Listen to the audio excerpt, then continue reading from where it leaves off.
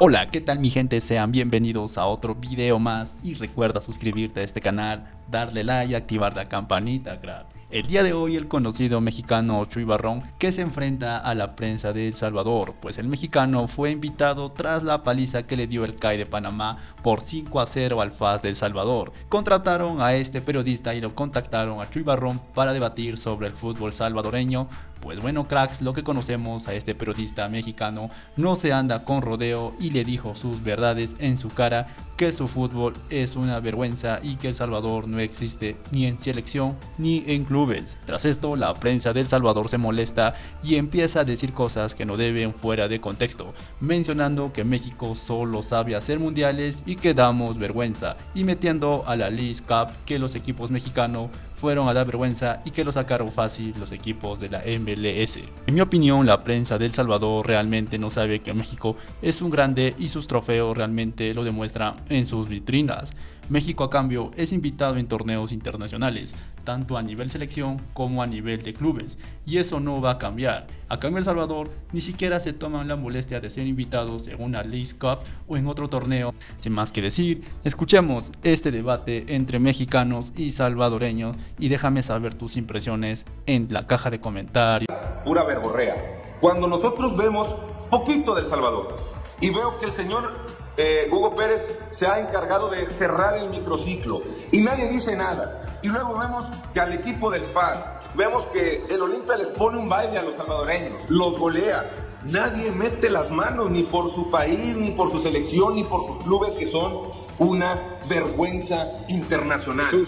Debe de darles vergüenza. Tienen que estar con una bolsa de papel en la cabeza, sin la cara porque es vergonzoso los papeles que hace cuando se habla de una liga de campeones de la CONCACAF. Chuy, qué, mal informado estás, qué mal informado estás, porque si tú ves este programa, como dices verlo, sabrás que es el único programa que realmente ha dicho que es una vergüenza lo que está sucediendo con los equipos. Pues se quedan muy cortos, por eso me convocaron. Por eso me convocaron a este programa, porque los críticos que deberían de serlo, en toda la extensión de la palabra, son periodistas blandengues son periodistas que no tienen personalidad para decir las cosas al aire. Les tiembla la mano y les tiembla la boca. Por eso estoy aquí, porque allá falta autocrítica. No, no, estás allá, estás allá porque tú no has querido venir acá.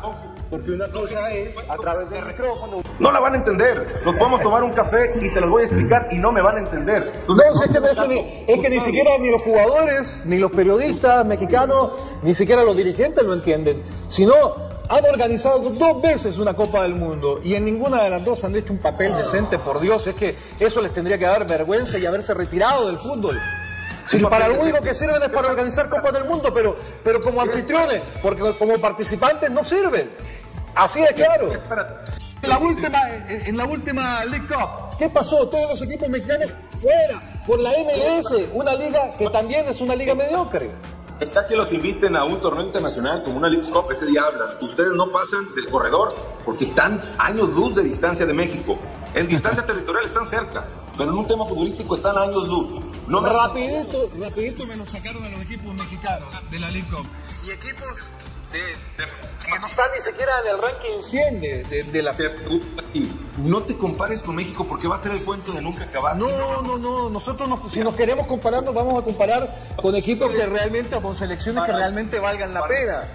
Pero, pero no con selecciones mediocres también. Hacer un consenso, hacer un consenso con todos ustedes, expertos en la materia, sobre todo en mundiales. Ustedes están preparados para hablar de una Copa del Mundo. ¿A cuántos han ido? A 5, 6, 7. ¿A cuántas han ido los salvadoreños? Pregunto, ¿a cuántas Copas del Mundo han ido los salvadoreños? Las que, no, las que, no, las que nos hemos merecido, no las que nos han regalado con ustedes.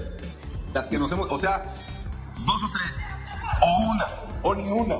No conocen de mundiales, están fuera de... Conocemos de méritos, nada más. Y los méritos que tiene México, que todavía sigue soñando con ese quinto partido, famoso quinto partido, orgulloso de poder jugar un quinto partido de una Copa del Mundo. Es lamentable. México agarró a El Salvador en el 70 y le metió cuatro. Señor eh, Barón, señor Barrón, ¿tiene algo? ¿Le va a dar la culpa al árbitro? Luis Miguel, ¿tiene algo más que aportar eh, eh, esta noche? Sí, que en las Copas del Mundo México ha sido organizador y ha llegado a los cuartos de final en ambos torneos. Uf, wow. Wow. El día que wow. ganen un partido. espectacular, espectacular. Llegamos a cuartos de final, la gloria. ¡Uh! Copa del Mundo. No, Gabriel Barrón.